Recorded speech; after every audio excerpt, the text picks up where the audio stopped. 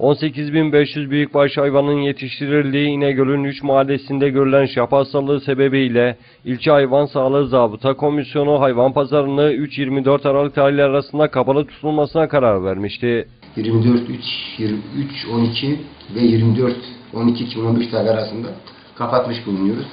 Dolayısıyla İnegöl ilçemizde 3 hafta süreyle dışarıdan içeriden her türlü hayvan giriş ve çıkışı durduruldu.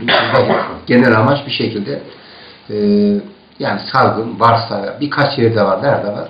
Ali Beyköy, Hamitabat ve Konular köyünde şu anda birkaç mirakta var. Dolayısıyla şaf hastalığı özelliği itibariyle bir hayvanda olsa bile böyle bir duyum veya bir tespit biz mutlaka tedbir almak zorundayız. Kodunu zorundayız komisyon olarak. İnegöl'de başlayan şap hastalığı Osman Gazi, Nünüfer ve Yenişehir ilçelerinde de görülmesiyle bu ilçelerde de hayvan pazarları kapatıldı.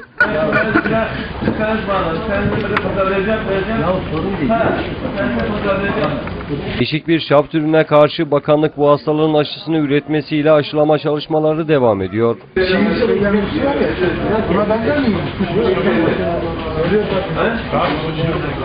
Hastalık tehlikesinin devam etmesi ve aşılama işlemlerinin bitmemesinden dolayı 24 Aralık'ta açılması planlanan İnegöl Hayvan Pazarı'nın Bursa Valiliği'nin ikinci emriyle hayvan pazarındaki karantinanın devam edileceği öğrenildi.